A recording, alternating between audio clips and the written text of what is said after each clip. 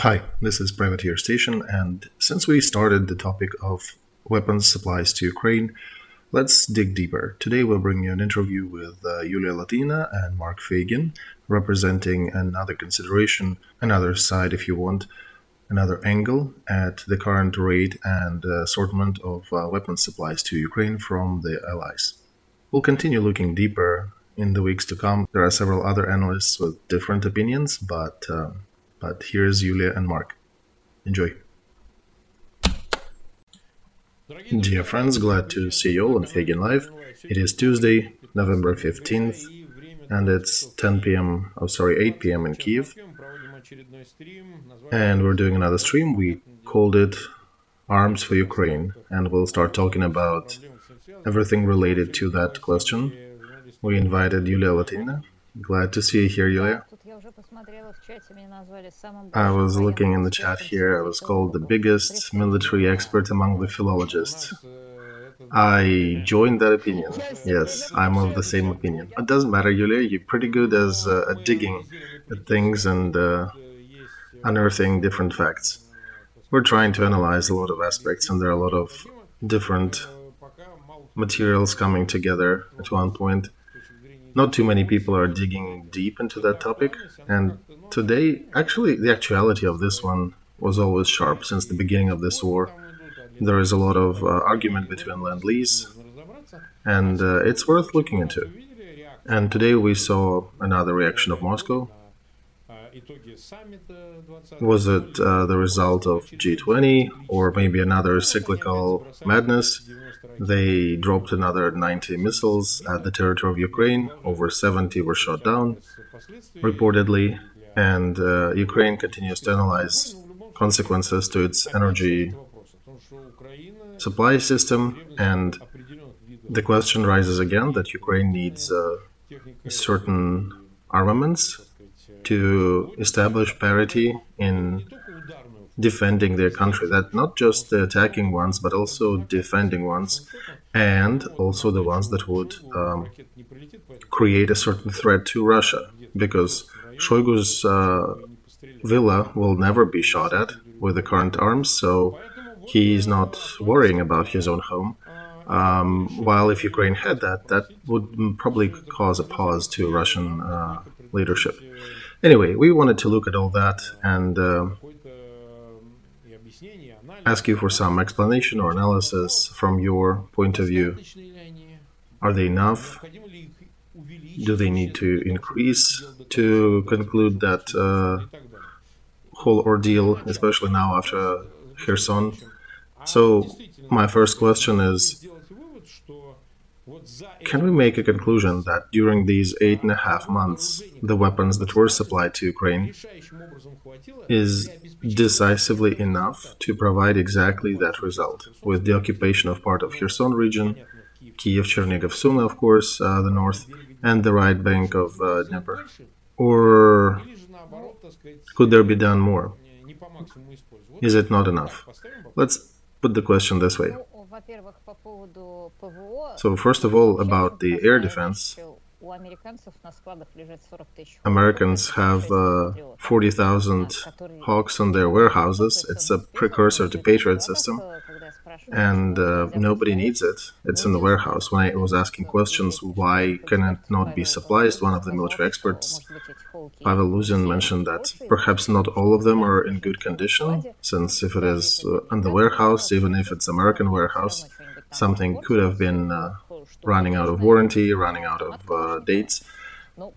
It's not AK, right? But uh, you understand that it would not likely touch uh, all 40,000 of them. So, and that's not even uh, an active service with the US military. It's an old one, but we can see that they're also supplying HARM missiles, anti-radio location systems, which are pretty old. Like my old friend Roman Svitan says, it's a grandma that's designed to shoot down the grandpa, the S-300. And we can see that it hits pretty well the grandpa, the uh, son of that grandpa, and the grandchild of that grandpa. S400, which is basically a repainted S300.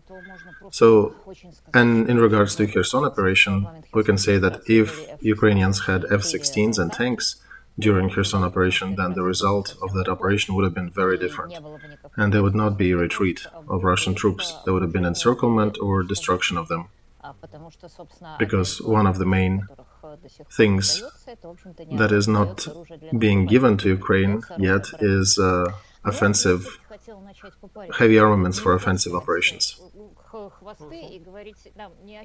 So, also, let's kind of take a broader perspective look so we don't keep touching the foot of an elephant and telling everybody that the elephant has the shape of a column. Looking at the overall support of arms, we can say that allies and United States have their goal at uh, affecting the outcome of this uh, conflict? Do they want to not let Russia lose, or do they want to eliminate the aggressor uh, capability to attack and liberate, help Ukraine liberate the territory? So let's dig deeper into that and try to be honest. Also, do you know what is presidential drawdown authority, Mark? No, I don't know. Can you tell us more? I'm just putting here it as a bookmark. We'll get back to that later uh, very peculiar capability. Um, we knew that United States were aware of Russian imminent attack. Uh, the director of CIA uh, later leaked that he was told by President Putin that that is exactly what they're going to do. So they were not really supplying Ukraine anything before this operation. There were some javelins supplied by previous administration, but again, it's a beautiful weapon, but it only goes as far as five miles, and uh, this is just not enough. Artillery is a main argument in the modern day war. Field artillery even reaches 15 20 miles, and uh, in order to get to anybody with javelin, you need to cross that distance. So, looking at that, at the beginning of war, United States probably did not believe that Ukraine can successfully defend themselves. And when General was saying that their that behavior could uh, provoke Putin, uh, he probably is right. There is another story, but I don't know how many people know of it. But since 2014, United States were giving radars for the counter battery fire, but they were providing them with a turned off function of uh, hitting back. So these raiders, uh, they saw who was shooting what from where, but you, they, they, could not be used to counterattack, to attack the attacker. So we have a very detailed documentation of what was going on in Donbass, but uh, Ukrainians could not respond. And uh, Ukraine had a very difficult situation at the beginning of this war. What Arestovich mentioned in spring, Ukraine pretty much ran out of ammo for their artillery. They had mortars, they had 122 millimeters, but they had no ammo for 150 millimeter cannons. Uh, artillery, and Russia was dumping tens of thousands of shells from their side onto the trenches, and it was uh, just leveling everybody there. I talked personally to a big tough guy from those trenches who actually ended up uh, with a concussion in uh, with a contusion in the hospital, and he was nearly crying on the phone with me. He was telling we had some javelins, we ran out of them. We were out of RPGs. We had no ammo for artillery, and at the end, Wagner troops came over and just kicked us out. So he was, yeah, the, the day was, that period was pretty rough for him as they say, the milk got spoiled and the candle fell, um, as an old saying goes. But uh, when I called him a few weeks later, he was shining as a young boy who got new toys. Uh, they got uh, M777, the three axis howitzer, 150 mil- 55 millimeter and he was just delighted how effective, how accurate, how uh, good are these uh, howitzers. And that was the time when the battle for uh, Severodonetsk was starting. And during that fight, that's what was going on. For example, Ukrainian troops would be sitting in the house. Russian uh, cannon fodder is being sent out forward. There's usually some contractors or uh, more experienced DNR fighters in the back and some newbies walking in front. Ukrainians would shoot, start shooting at them. After that, Russian tank comes out, looks from behind the corner, which is difficult to reach even with javelin, and carefully shoots right at the position of the Ukrainian troops in the house. After which it collapses. Unless they manage to run away, they're all dead. After Triple Seven arrived, the everything was going in the same format, except there was a a copter hovering above the tank, and when the tank would be approaching the situation to shoot at Ukrainians, uh, Triple Seven would shoot up the tank, and the tank is gone.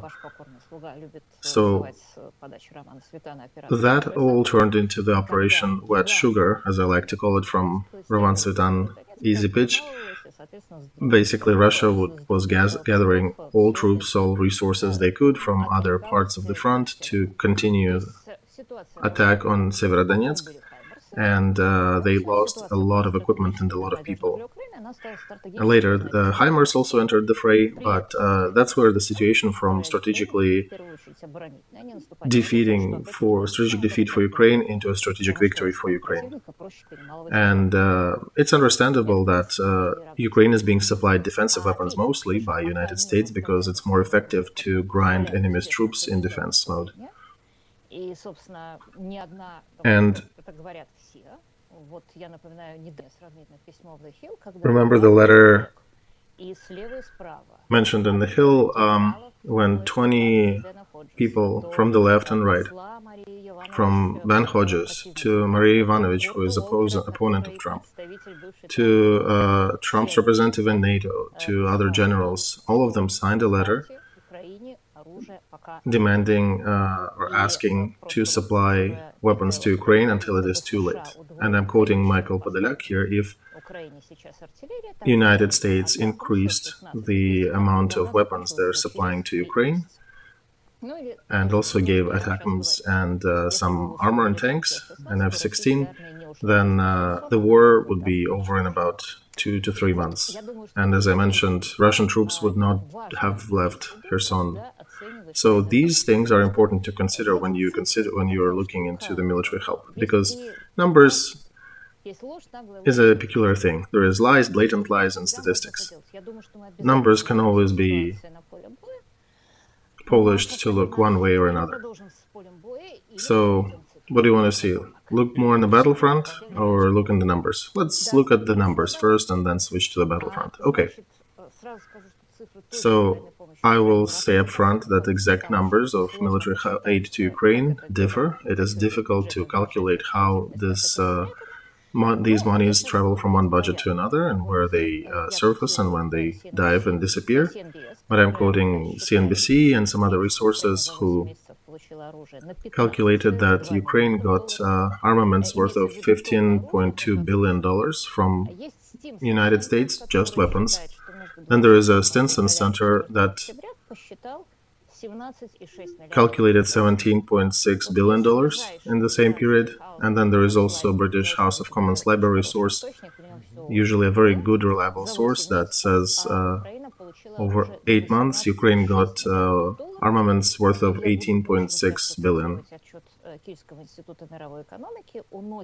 And also there is a Kiev Institute of International Economy that calculates uh, designated aid to Ukraine. That, that, not necessarily it had arrived; it just what was designated, and uh, they calculated that at 25 billion dollars. And um, we're talking only about military armaments. We're not talking about monetary and other humanitarian supplies. So, what do you think, Mark? Is it enough or not? It depends. Depends what you're comparing with. Exactly. So when people start dropping numbers on you,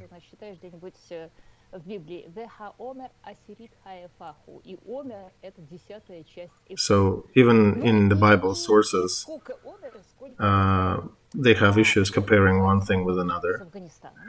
When they say this is a fraction and it's not even a tenth, uh, it's incomparable.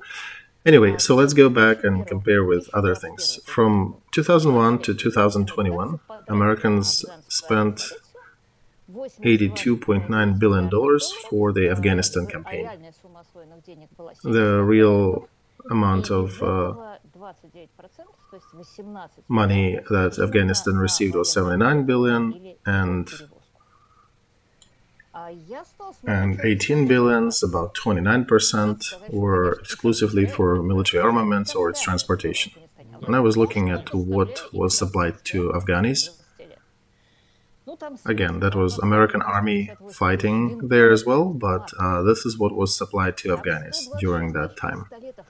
It's tiers. They had 250,000 rifles and machine guns, 126,000 pistols, 42,000 vehicles, 22 Humvees, 16,000 night vision goggles. They never got any HIMARS, any triple sevens. Maximum what they received was 2,600 mortars, 60 and 80 millimeter, and 122 millimeter howitzers. And also they got 189 armored vehicles and 8 drones Sky Eagle, the ones that Pentagon refuses to supply to Ukraine right now, citing that uh, or claiming that if it gets into Russian hands, they can reverse engineer. So very often, what they claim is that uh, they don't su- supply certain things. When this thing gets into the Russian hands, or into the opponent's hands, they can reverse engineer that. So Americans always consider reverse engineering as a threat when they're bringing weapons.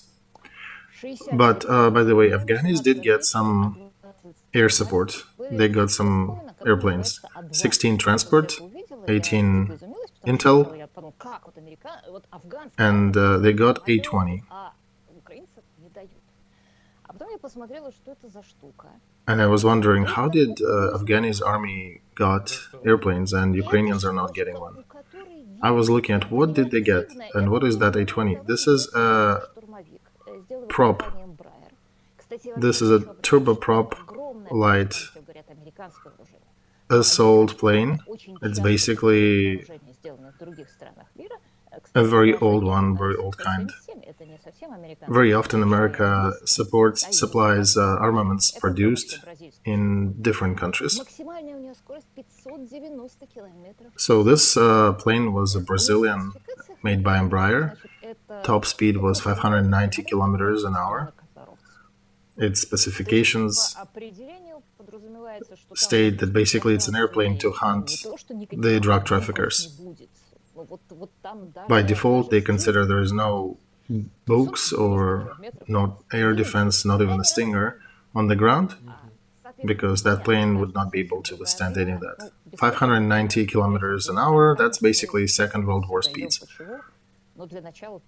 And of course, we understand probably it's uh, useless to supply HIMARS to Afghanistan. First of all, there are no targets for HIMARS. Why were not HIMARS supplied to Afghanistan? What are the warehouses that it would be shooting at? Same thing as that uh, old turboprop is useless to be supplied to Ukraine. So what I'm approaching that is that in counter to the popular legend, it is incomparable with Afghanistan war because Afghanistan got about 18 billion dollars worth in 20 years, and Ukraine got about the same amount of armaments worth in uh, eight months. So, if you read deeper into what was supplied to Afghanis, uh, it seems mostly that, uh, especially from WikiLeaks and other uh, materials, that reports by Americans and their allies that they didn't really trust Afghanistan army. They were complaining that they trade drugs, they have uh, boys' harems, they behave themselves as bandits, as gangsters. So same as uh, Wagner troops, sort of, uh, on the Ukrainian front. So I understand the American line of thinking. If we supply howitzers to them, pretty good thing in uh, your household, right? And then in the morning we'll read something in the news that howitz that howitzer was used to shell some village uh, to duke it out with a warring family. So they were not supplying those uh, weapons to Afghanistan. There is a definitely different attitude to Ukrainian army. There is a risk that maybe things will fall into hands of Russian side and it'll be reverse engineered. But uh, there's uh, definitely no that issue of trust of giving these weapons to Ukraine. Uh, Ukraine is getting five times more armaments during this war than Israel, the main uh, ally of United States in the Middle East. Well, different comparison, but still and it's more than United States supplied to all countries of the world taken together last year. Um, another aspect, remember there was a historic Lend-Lease what United States were supplying in 1940s to Britain, to USSR. There were a gigantic number of countries that they supplied, including China. It was about 50 billion dollars in those prices, about 700 billion dollars in today's prices. And let's take USSR. USSR got roughly about 11 billion dollars from that amount.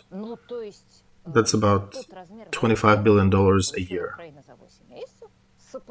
So the volume of military aid that Ukraine got in eight months can generally be compared with the amount of aid that Soviet Union was getting during the Second World War, which had a certain population, a certain length of front. And what's important is probably how are these monies being given. There is a lot of conversation about Lend-Lease, right? So, first of all, you need an approval of Congress to give money to a certain cause.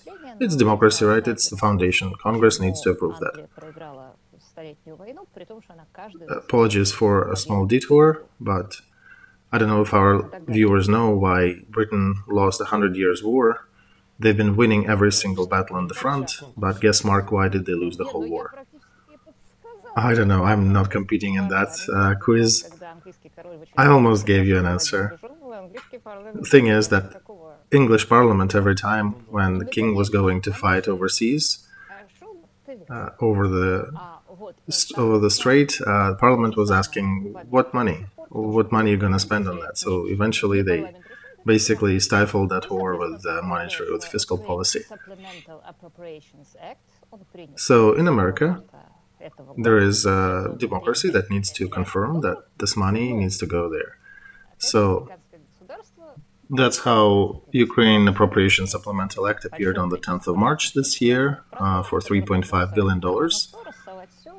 But of course, American government, as uh, any big government bureaucracy, has a ton of different programs that can be shuffled here and there, and other things that can be used for the same purpose. I'm quoting the same source, Ukrainian Institute. Another program, Ukraine got 650 million from Department of State, about 100 million uh, dollars. Ukraine Security Assistance Initiative, about 300 million from Department of Defense. And this is the Kiev Institute of World Economy calculating military supplies. We're not talking about somebody getting money to pay for some other direct purchase. So, together with this act, it gets total to about 4.35 billion dollars by April. Then there is also that famous uh, mentioned Lend-Lease. This is uh, an interesting mechanism that appeared when US bureaucracy was uh, somewhat at its infancy, and Roosevelt cannot be called authoritarian dictator, of course, but he uh, was doing a lot of different things under his reign. There were editors of newspapers whom were not in favor of Roosevelt uh, put in jail, of course, for not paying taxes. Uh, radio stations were some licenses were revoked, of course, for some other violations and taxes. Just you know, nothing personal. And um, then they, that's how in, in that administration there was an interesting law that came about when they were not uh, granting weapons to allies because they had no money to pay for that. Probably Britain was a, diff- a little different because US got a lot of patents back in return, but it was landed or leased, and then it was supposed to be returned. All the armaments were supposed to be returned after war if they survive. So one of uh, people in US also also described that law as something as a chewing gum that you lend to somebody and then ask to return it back after it was chewed. A very descriptive picture of that program. So United States decided again to insure itself a little bit and uh, they took they adopted Lend-Lease uh, law to be able to supply weapons to Ukraine, even if the opponents of uh, supporting Ukraine would have won in different elections that year. I'm not pointing fingers, I'm not saying Democrats or Republicans, because there are people supporting or opposing aid to Ukraine on both sides. So imagine uh, the, the, main premise of that uh, Lend-Lease program is that if uh, Congress becomes hostile to support of Ukraine, Lend-Lease program could have been used to uh, bypass Congress and still support Ukraine. And it's not being actually used much. And another thing that almost nobody talks about, as I said, Lend-Lease law is actually a way to ride around the Congress on uh, a goat that kind of circumvent if they don't want to support. And as, as I said, Roosevelt is an interesting persona who is uh, liked in America, but his practices are not so much uh, repeated, including 98% taxes and price regulations and other things. So since then, American bureaucracy also is not a fledgling anymore. They uh, they have more authority. They have uh, longer lifespan and more experience. And then there is a a special act, a presidential drawdown act,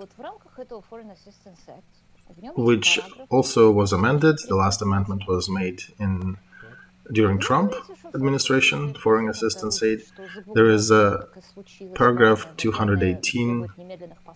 So it says that if president discovers something that happened overseas, then according to the paragraph 2411,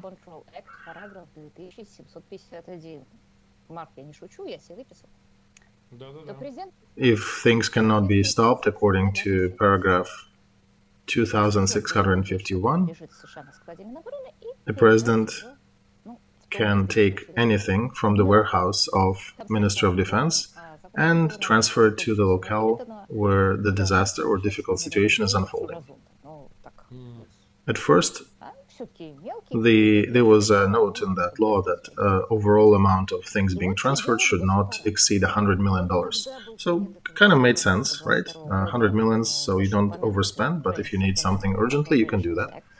So what does Department of State and the bureaucracy do?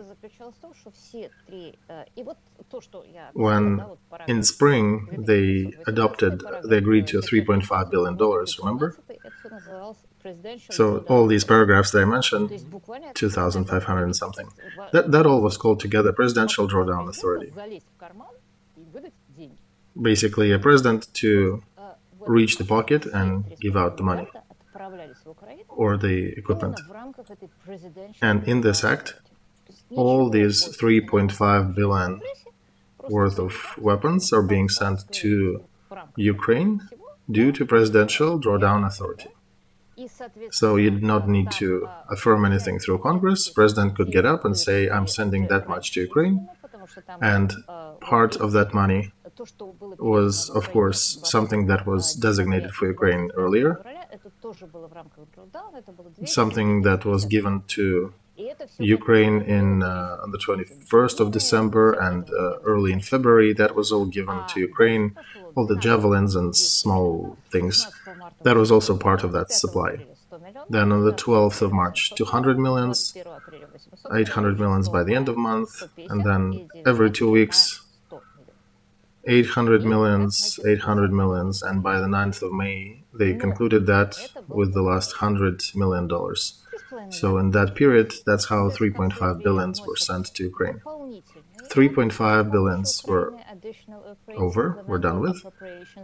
Then there's additional Ukraine Supplemental Appropriations Act being introduced. And that is one already for 33 billions. And while running through the halls of Congress, it grew to about 40 billions.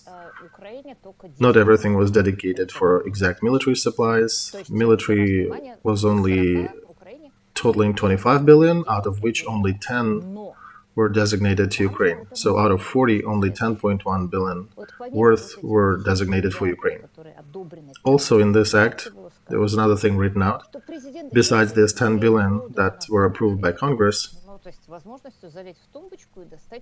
President using that same drawdown authority, just like uh, in that old joke, where do you get money from? From the shelf. How do they appear on the shelf? Oh, my wife puts them there. So president can go into the drawer and give additional 11 billion dollars worth of armaments just for fiscal year 22. And uh, as of 28th of October, US administration reached into that pocket 11 times. Last time I think it was the 12th time. So that is, in my opinion, a very interesting story. What can you say about it, Mark? It's impressive. It's impressive, and I have a question related to that. Can we say that this that looks a very complicated scheme because of all the regulative moments that executive power has in the United States. Did United States affect the situation on the front by pushing these uh, armaments? Did that uh, exact help did the financing aspect of it help with supplies of armaments? Did it have any projection on the front? I think to answer that question, we should look deeper into what was going on the front. And I would save it for the end, probably, because it is a very important moment. I think it is the most important thing we can discuss this hour. Because when people talk about numbers, you can manipulate numbers. You can confuse people with them pretty quickly. But let's switch to the front. At the end, because in this regard, it's uh, kind of useless to ask where is Lend-Lease. It's an old mechanism that is uh, a failsafe if everything else is not working. So it was never used, right? No, it was never used. There is a lot of discussion around it. Where is Lend-Lease? So they were using other instruments, right? they were using other instruments, alternative, not just alternative, but actually better instruments, one can argue. As long as they have majority in Congress uh, eager to support aid to Ukraine, as long as they are okay with supporting uh, that and draw down authority, that is a special creature uh, bureaucrats during Roosevelt times could not do that. So it's kind of a very high level of bureaucracy where they take a, an act of, let's say, president can catch that many butterflies for that amount of money.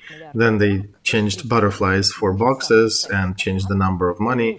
And at the end, they has uh, 11 billion of dollars that president can take out of that pocket and reallocate to certain goals plus 11 billions that Congress approved for military aid. All these uh, pathways, all these uh, ways to perform that function, this is not exactly a warehouse with weapons. This is just these are just ways of how to supply that. You can supply that by route A or by route B. And it's pointless to ask why is not our armaments going through route B because we want it to route B. Uh, it doesn't make sense. But the better question to ask is why you're not supplying Hawks, why you're not supplying tanks. Don't ask about the route. It is not that important. It is not, uh, Lend-Lease is not a train with goodies that is standing somewhere in the back waiting to be supplied. It is just a manner of uh, a legal and logistical manner of how it will be supplied. And since we have a bit of time, let's briefly remind people what was happening on the front. As I said, you can confuse people with numbers. It's much harder to confuse people when you are describing events attached to these numbers. So, if one can name a system that saved more Ukrainian lives during the first months of war, I would remember uh, Krapiva system. This is a software that united civilian drones and civilian tablets into a single system of targeting and control, fire control for the artillery and that allowed an outdated, even Soviet artillery to shoot about five times more effective than it would otherwise. So Russian military were using the same artillery just uh, to cover large large uh, of land and create a firewall, and Ukrainian were using the same artillery to target more with much higher precision. So that at that point in February March was uh, that wonder weapon wonder weapon for Ukraine that can only be created in uh, the army where the volunteers work where volunteers fight because operators of these drones are the ones who were shooting uh, weddings and aerial uh, photography just months before that war. So they were the ones who knew how to operate that. And then later howitzers appeared the 777. They have about 170 of them on the front. And we see from the beginning a digital fire control system. So this, of course, also changes the fight, the character of the fight for Severodonetsk, as I said. And second thing that happens is United States starts supplying first HIMARS systems, which can carry missiles, different types of missiles, different types of ammunition. Uh, we'll talk about ATACMS that they don't have, but uh, GMLRS that Ukraine got can reach up to 92 kilometers. They fly according to GPS coordinates, and the input of HIMARS in that stage of war after Severodonetsk uh, M777 input and in general 150 millimeter artillery, this was another game changer because HIMARS shells started to take out Russian warehouses 70 kilometers, 60 kilometers away from the front. That collapsed the whole logistics uh, chains of Russian army because most of it was relying on the firewall created by artillery, just uh, carry every, take everything out and then advance on the torn positions. So firewall was no more. HIMARS destroyed supply lines and warehouses transportation shoulder grew exponentially. Army started to bring shells from 80 kilometers. They were using grain transport very often to uh, mask somehow. They were warehoused in smaller warehouses. So HIMARS took out the big ones, then took out the middle ones, then started taking out individual ones. Then they started making little shelters in the field, in the forest, and now, very often, they'll just drop it from a vehicle that delivered a portion of ammo to a small little uh, truck, and the truck takes it to the last uh, step. So that's why they, by the way, they gave up Kherson region because there was no way to supply their army on that side of the river, because HIMARS were taking out any organized attempt to deliver additional shells, additional ammo to Russian artillery. So this is an ode to HIMARS, for example, Kherson, that's definite ode to HIMARS. So several things about it. It travels at a speed of a usual truck along the Rocade Road, parallel road to the front. You can transport it and be very effective. In Syria, there is no there are no roads, so it's very difficult to use it there. Second, HIMARS is attacking what? HIMARS uh, juicy target are warehouses, right? So it needs to be taken out to preclude the firewall happening.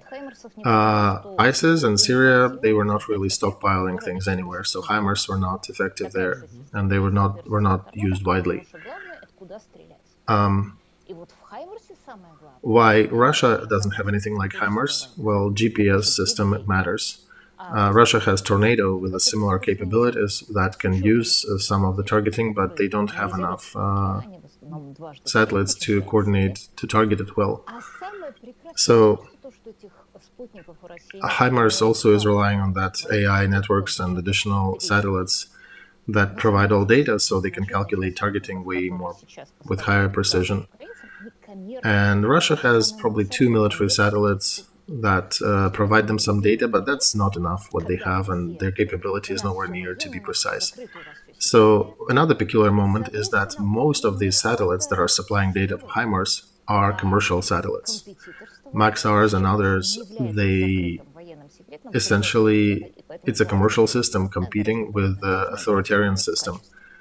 So, commercial is more reliable, more saturated, of higher quality than Russian military satellite system.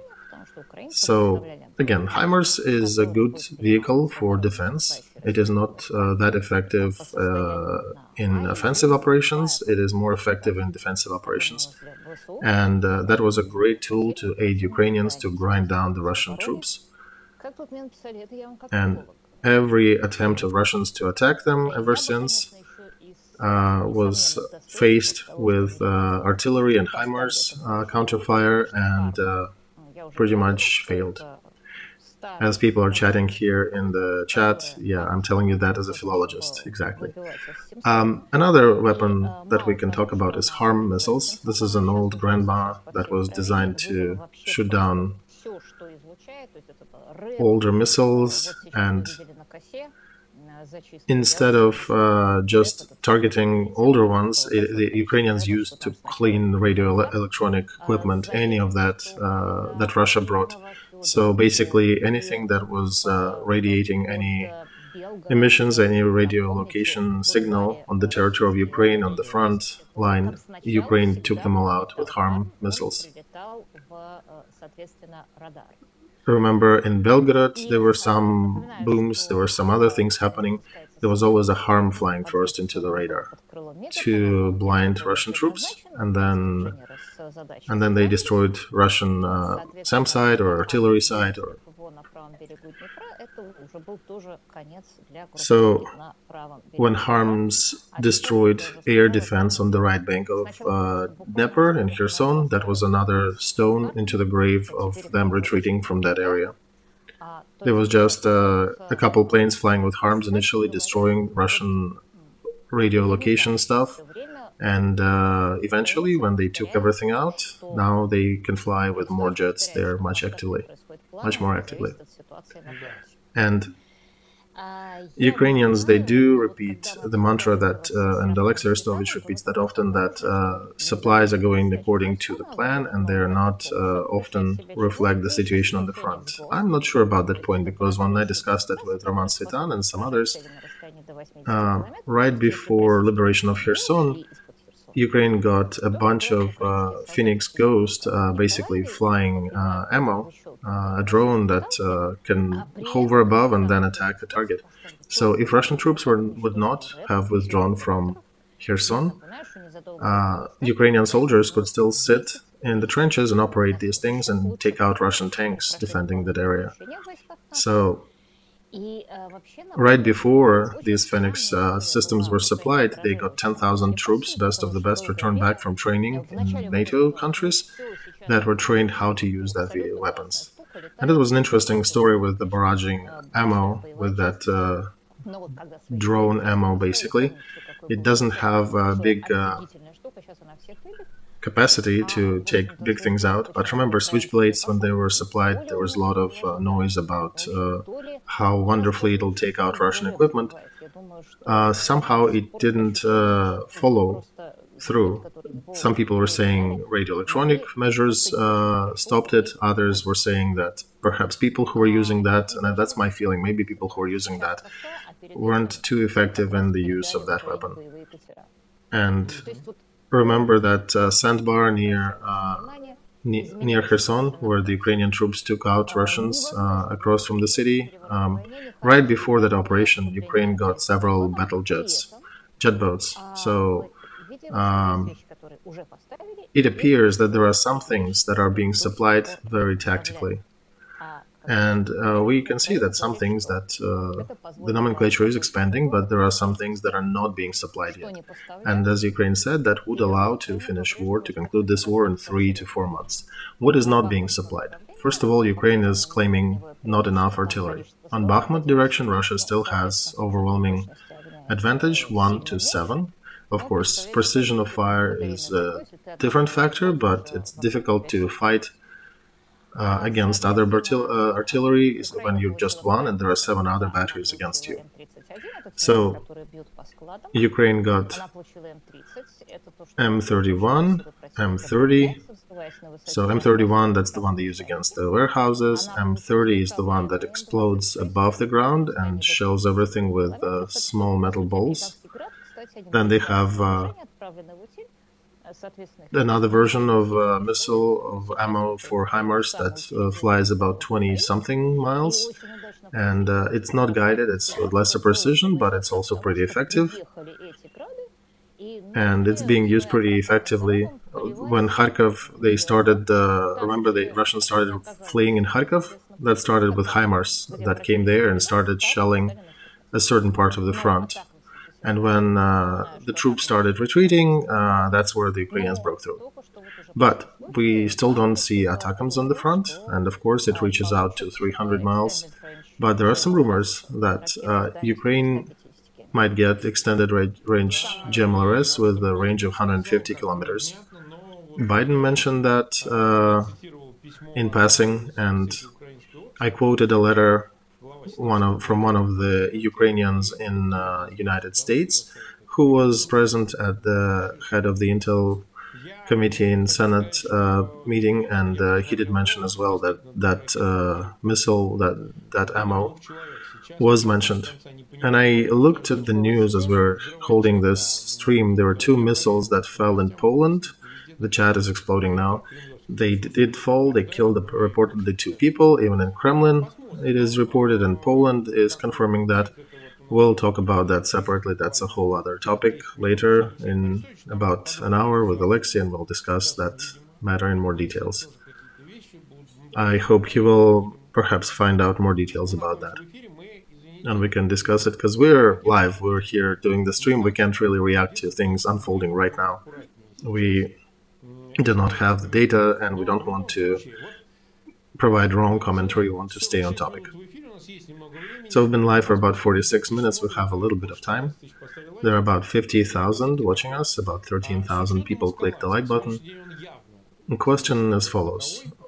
Given the escalation trend that is happening, just looking at recent news, if Ukraine gets uh, certain means further reaching perhaps uh, offensive uh, equipment, ATACMS, jets, armored vehicles. What are the chances to expedite the occupation, in your point of view, Yulia? So, those ones that they lack, jets, let's say, F-15s.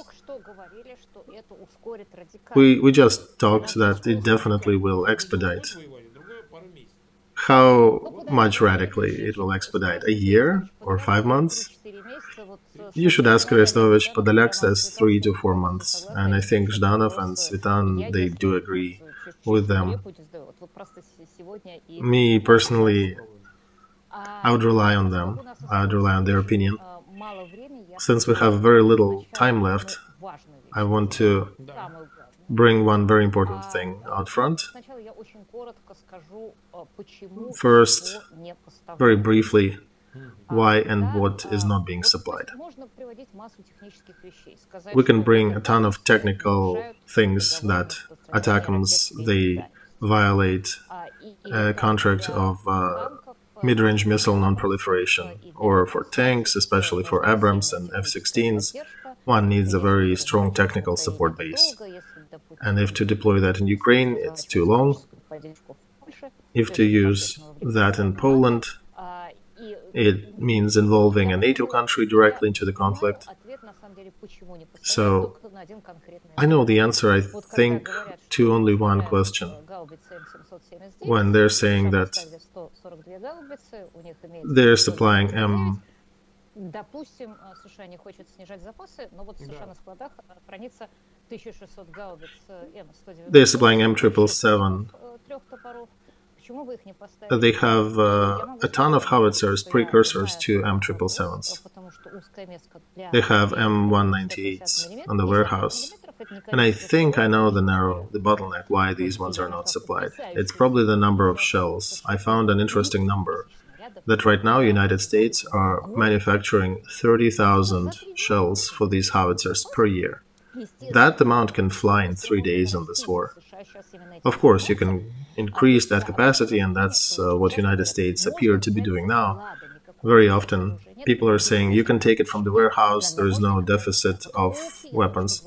This one is a little uh, blanketing statement. Sometimes you can, sometimes you can't. Hawks, yeah, you can take that, I believe. And I believe as a new package they started supplying them. But howitzers M198, it wouldn't make sense to give them because they would be using the same ammo, which is at a bottleneck. You could use a smaller caliber. You can take some smaller caliber howitzers from the artillery from the warehouses, and that would be an option. So, another question about tanks. First of all, with offensive equipment, their Ukrainian requests are slowly but are being fulfilled. And on the other hand, Americans prefer to give defensive weapons and another thing is that Ukraine is not passively waiting for these uh, weapons to arrive. Because when Ukraine is attacking uh, bridge in Crimea, the warehouses in Crimea, uh, airport, airports and airfields with strategic airplanes that Russia has, even in the Russian territory, it just points out that uh, Putin is bluffing about his strategic nuclear systems and that he'll use them immediately if his territory is attacked. So Ukraine was uh, pretty successful in attacking what they had. Um, Ukraine actually is kind of ready to use Abrams tanks. They used German uh, recently to uh, in one of their offensive maneuvers. They it's a Zenith uh, air defense systems, but they pointed them down and they used them as uh, armored vehicles. So when people are uh, there is a popular statement that Americans are not giving enough, that they're um, somewhat uh, hesitating about supporting Ukraine. When you dive deeper into the monetary and the equipment uh, assortment that is being supplied to Ukraine, that kind of help was never provided to other country in recent history. This help is not being given for nothing. This help can only be given to another country to totally annihilate the opposing regime, the, the regime that started this war. I'm not even talking about President Biden or deep state, I'm just saying in general. So, what uh, did they do? They changed when people are saying that United States want to sign peace treaty with Russia. You think that bureaucracy changed law and allowed president to draw 10 billion dollars worth of uh, equipment to do what? To sign peace treaty? In Ukraine, I think United States are actually making a statement and uh, fighting a, a, sort of revenge war to pay back for Afghanistan, for Vietnam, for uh, Korea and other places. So they, I hope, finally see that they can win here.